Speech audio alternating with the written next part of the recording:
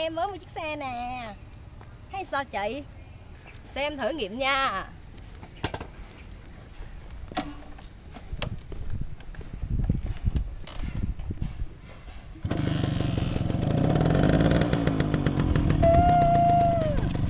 Ghê chưa? Thấy rồi.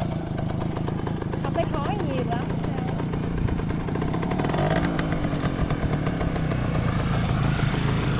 And.